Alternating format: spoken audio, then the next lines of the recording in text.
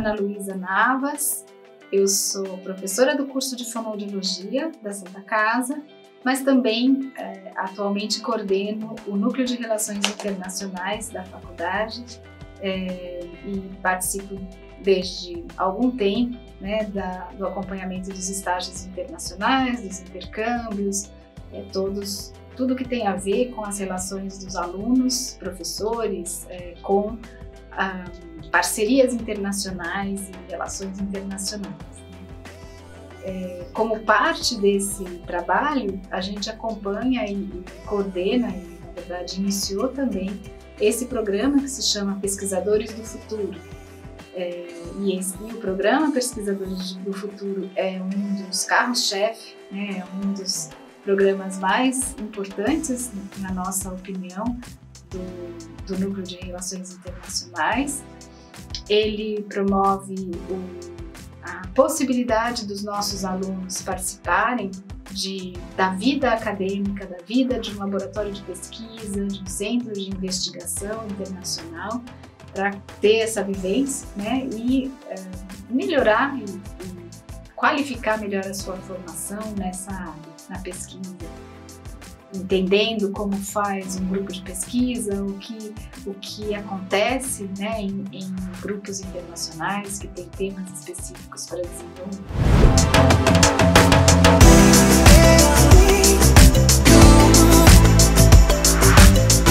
O programa é pensado para alunos é, que já tenham alguma, a, alguma participação em projetos de pesquisa, pelo menos conhecendo né, esses projetos. Então, normalmente são alunos do segundo ano e do terceiro ano, de todos os cursos da faculdade, né? Existe a possibilidade de ter é, a, a, seleção e inscrição dos alunos da medicina, da fonoaudiologia, da enfermagem e dos, dos, dos tecnológicos, né? Dos cursos tecnológicos. É, e normalmente alunos do segundo e terceiro da, da, medicina e dos outros cursos, porque no quarto ano da enfermagem ou da fono já seria o último ano para esses cursos e o quinto e sexto da medicina já tem outras atribuições, já o internato, e aí é muito mais difícil né, de ter o espaço de tempo necessário para fazer o programa. Uhum. Normalmente, é, a época desse programa é, janeiro e fevereiro, então os alunos vão finalzinho de dezembro, início de janeiro, então pegam um pedaço das férias, né, dos alunos ainda, e eles voltam é, para a faculdade é, depois desse período de dois meses acompanhando esse grupo de pesquisa lá fora. Então tem que ter essa disponibilidade de tempo.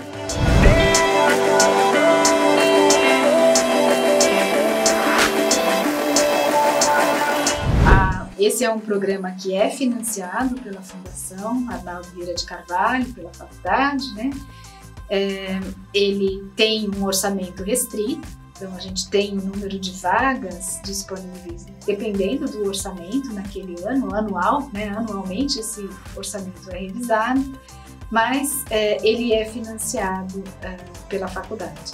E esse financiamento cobre a passagem, a, a estadia do aluno no local, a alimentação, transporte, ou seja, tudo que o aluno precisa para estar lá durante esse tempo, né? São dois meses, é, com conforto, mas obviamente é o, o necessário e é feito um cálculo para saber nas diferentes cidades né, em que o aluno vai, qual é a necessidade é, desse recurso financeiro, né, e e aqui a gente tem ajuda do setor financeiro para fazer esses cálculos e o aluno então tem é, esse aporte para ir é, financiado pela faculdade. O que a gente, o que a faculdade dá é o mínimo para ele se manter lá é, numa condição de poder acompanhar os estágios acadêmicos que ele vai acompanhar. Uhum. É, então tudo que é, é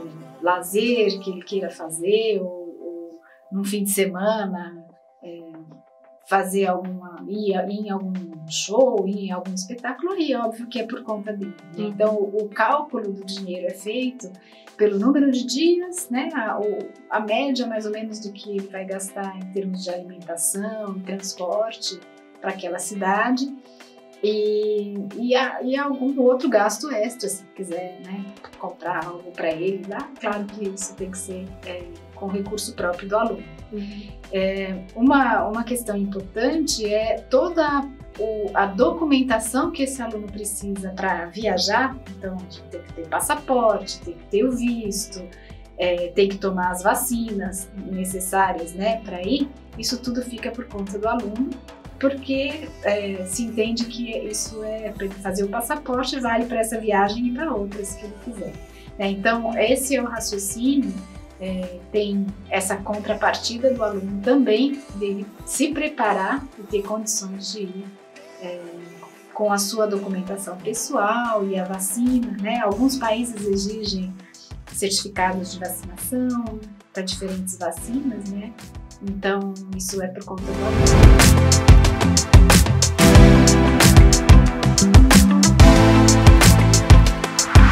Então, todo ano, é, em, mais ou menos no, na metade do ano, junho, maio, junho, é lançado um edital com as características da, do, das vagas daquele ano, né, e com o processo seletivo.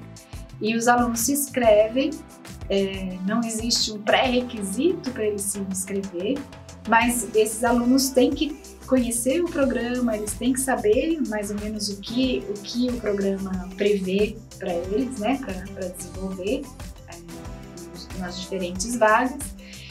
É, ele tem que ter um bom nível de inglês, porque depois no processo seletivo isso vai ser considerado, e, e tem que ter esse interesse na pesquisa. Né? Então, acho que são, assim, para inscrição, ele tem que saber que é, a vaga não é uma vaga para observar é, cirurgias, não é uma vaga de atendimento, mas é uma vaga que tem esse perfil de um grupo de pesquisa, né? Então, pesquisa que pode ser desde a pesquisa básica, pesquisa de laboratório, até é, é, pesquisas epidemiológicas, é, pesquisas é, de perfil de atendimento, de acesso à saúde, saúde global. Então, pode ser dentro de várias é, especialidades, vamos dizer assim, é, das áreas da saúde.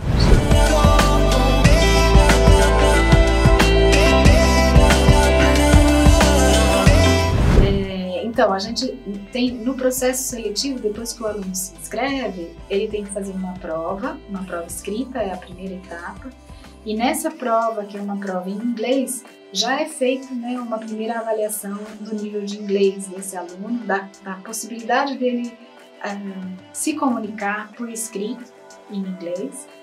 E a segunda etapa é a entrevista. Para a entrevista, a, to, a entrevista é feita por uma comissão de docentes, né, a, a, os docentes que participam do núcleo de relações internacionais, é, professor Wagner Cantor, professora Maria Amélia Veras, é, e nós chamamos professores convidados para participar também dessas entrevistas. Né?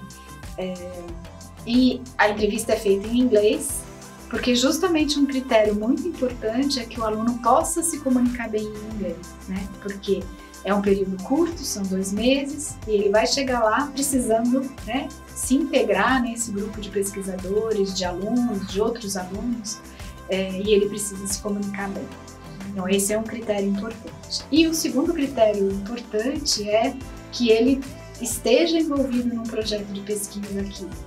É, ele pode, o ideal é que ele esteja fazendo uma iniciação científica formalmente, pode ser com bolsa ou sem bolsa, mas mesmo que ainda não tenha sido aprovado, se ele estiver num projeto, elaborando um projeto de iniciação científica, participando de reuniões de um grupo de trabalho, de um grupo de pesquisa, ele já está mais integrado e ele pode também participar do processo seletivo. Tá? Em relação às, às vagas, é muito importante deixar claro que é, todo ano há uma revisão das vagas, porque essas vagas são conseguidas a partir de contato com os docentes aqui da Santa Casa. Né? Então, os docentes que têm uma colaboração internacional, que já têm um contato, que já tiveram né, essa experiência internacional, é, fazem essa intermediação para que esses locais recebam os nossos alunos. É, eles recebem os alunos sem custo, né? não há um custo adicional a pagar pra, pelos alunos estarem ali, justamente por causa da parceria com os docentes. Né? Então, todo ano, esse número de vagas varia, né? como eu falei, pode ser desde da, de uma vaga é, de epidemiologia, uma vaga mais na área de ciência básica, de laboratório, biomolecular e diferentes é, naturezas. Né? Nós já tivemos vagas em vários países e ao longo do tempo isso sempre foi mudando, né? Algumas vagas se mantêm mais constantes e outras foram variando. E o número de vagas também muda, dependendo, obviamente, é, desses parceiros que, que concordam de receber nossos alunos naquele ano e também do orçamento que é disponível no ano. Né? Então, às vezes a gente, nós conseguimos enviar 12 alunos, 13, 14, às vezes 15, e isso sempre flutua, né? dependendo do orçamento, dependendo se, se tem algum outro patrocinador para o programa, né? que pode também melhorar um pouquinho, e aí é, em vez de 12 vão 13, 14, dependendo de como é. É, é um programa que quando, quando os alunos voltam, eu não tenho dúvida do quanto transforma né, esse, essa visão do aluno. Ele traz uma experiência e compartilha com os outros alunos aqui, né, da sua vivência e do que ele experienciou lá. Mas também é, para o próprio aluno existe essa mudança. Né? Ele faz uma rede de contatos, ele conhece pessoas, ele conhece como os grandes laboratórios de pesquisa funcionam e são experiências para a vida inteira. Né? Com certeza é algo que marca os alunos que foram. Nós temos já um, um grupo grande né? nesses anos todos, já quase 10 anos do Pesquisadores do Futuro, um grupo muito grande de alunos que participam e é sempre muito, muito bom ver é, a energia, a alegria né, que os alunos é, trazem na volta e os contatos, né, e os produtos, a produção que segue depois que eles já voltaram. Né? Há uma continuidade desse contato depois que eles voltam.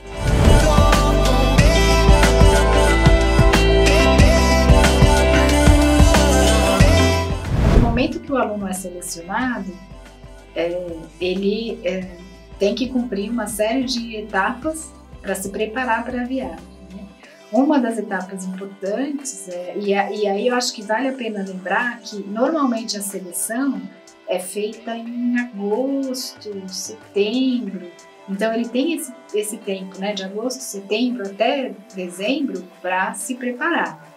Né? Então ele vai precisar participar de várias reuniões com o setor financeiro aqui da Santa Casa para ah, entender como ele faz a reserva da passagem, é, qual é o valor da reserva que ele pode fazer né, para comprar a passagem. Ele pode comprar o que ele achar melhor, porque tem esse preço mais ou menos estipulado, né, uma faixa de preço. Então ele precisa seguir essas orientações à risca e é, Normalmente há uma convocação para algumas reuniões, não é toda semana, mas existem algumas reuniões de orientação. Além disso, ele vai ter que se preocupar então para é, fazer a reserva do local onde vai ficar lá. Às vezes já existe um local pré-determinado, né, dependendo da vaga, mas se não, ele tem que é, vai, ele vai fazer a reserva do local, procurar a reserva da passagem, é, e, e, toda a documentação que ele precisa é, para viajar. Então, se ele não tem passaporte, tem que correr atrás do passaporte, o visto, depois que ele tem a carta de aceite do, do local que vai receber, né? Precisa esperar isso para fazer a solicitação do visto nos países que exigem né, o visto. É, e, e da preparação é, acadêmica, para ele ir, existem também reuniões com os supervisores aqui do Brasil, né, com os docentes que são responsáveis pela parceria, porque esses docentes podem é, solicitar que o aluno venha para reuniões do seu laboratório preparatórias, para ele ler textos sobre aquele assunto, para ele entender o que é feito lá nesse laboratório, né, para que ele possa chegar lá com um pouco mais de noção né, do que ele vai ver e de qual vai ser o projeto dele lá. Né? Normalmente os alunos desenvolvem um projeto de curto prazo enquanto eles estão lá. Então, eles têm que às vezes fazer uma capacitação é, de alguma técnica de laboratório aqui. Então, o professor Wagner ou alguém da fisiologia ajuda a, a fazer esse treinamento. Então, dependendo da vaga para qual o aluno foi destinado, ele tem uma preparação uh, anterior para ele poder ir aproveitar melhor uhum. esse tempo que ele está lá. Né? Então, nesse período entre a seleção e o momento da viagem, ele tem que ficar né, sempre muito atento a essas convocações, essas reuniões. Né? Uhum. É, e os alunos vão para o estágio, sempre mantêm contato conosco aqui no NRI e com é, o setor é, financeiro aqui da fundação. Qualquer uhum. problema sempre pode, ser, pode reportar, né? A, a faculdade está sempre acompanhando quando ele chega, se chegou bem, enfim, a gente tem esse, essa preocupação também de saber que está tudo em ordem com os alunos. Normalmente a gente não tem nenhum problema, mas claro que quando o aluno tem alguma dificuldade, ele entra em contato, a gente normalmente deixa os nossos telefones.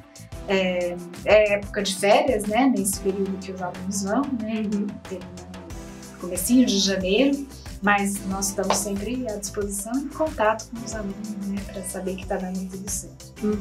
E enquanto eles estão lá, uh, nós também pedimos para eles uh, fazerem ou manterem um diário de ações do, de, do que eles fizeram no dia a dia, porque na volta eles vão ter que fazer um relatório sobre isso. Então a gente orienta assim, olha, você vai no laboratório, vai visitar um laboratório diferente, tira foto, mantém esse registro né, de todas as oportunidades que você teve, uma palestra, é, uma participação num fórum de discussão. Então, tem muitas coisas que acontecem nas universidades e que o aluno pode é, participar. E é importante a gente saber né, de todas essas oportunidades e experiências que ele tem. Então a gente solicita que ele também vá registrando isso uhum. para que ele possa contar depois né, e, e fazer esse relatório final depois.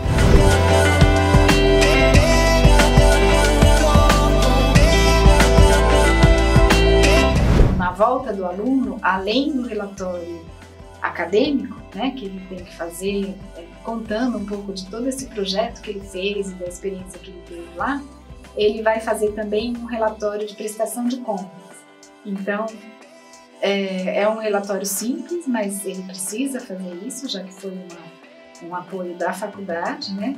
E ele precisa dizer é, aproximadamente quanto foi o custo da alimentação, qual foi o custo é, da moradia, do transporte que ele teve lá, é, enfim, ele traz né, toda a relação do que ele gastou nesse tempo, quantos dias foram, e aí é, faz a prestação de contas diretamente com o setor financeiro. Tem um relatório que ele envia, é, um modelo né, do relatório para ser preenchido, mas ele precisa fazer isso também para né, prestar as contas e, e realmente é, valorizar esse apoio que a Fundação é, dá né, para esse aluno.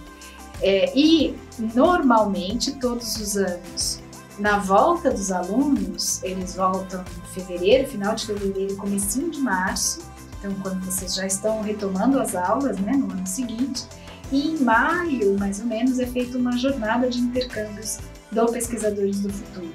Então, esses alunos têm a oportunidade de apresentar a sua experiência, de contar essa experiência para os demais alunos, né?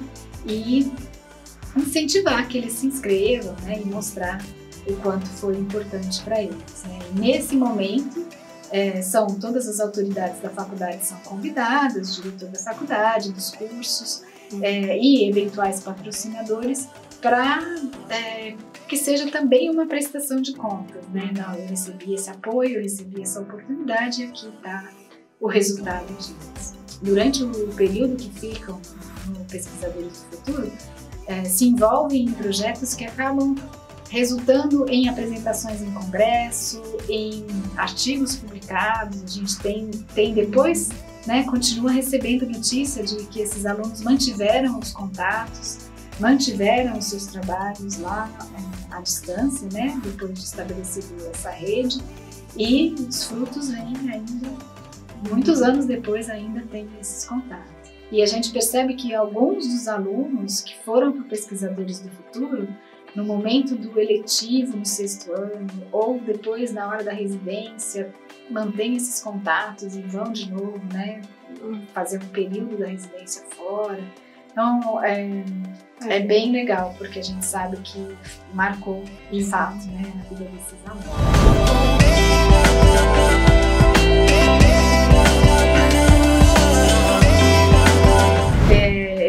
Eu aconselho todos os alunos a tentarem. Eu acho que é uma oportunidade única. É, a gente sabe que, infelizmente, o número de vagas é pequeno, mas se você não tem, você nunca vai conseguir. Né? Então, se o aluno se prepara, faz um bom curso de inglês, um inglês de conversação, né? a gente não precisa de certificado, não precisa ser um, um, um curso de inglês certificado, mas que ele tenha essa desenvoltura da comunicação em inglês né, e que ele tenha vontade e interesse na pesquisa.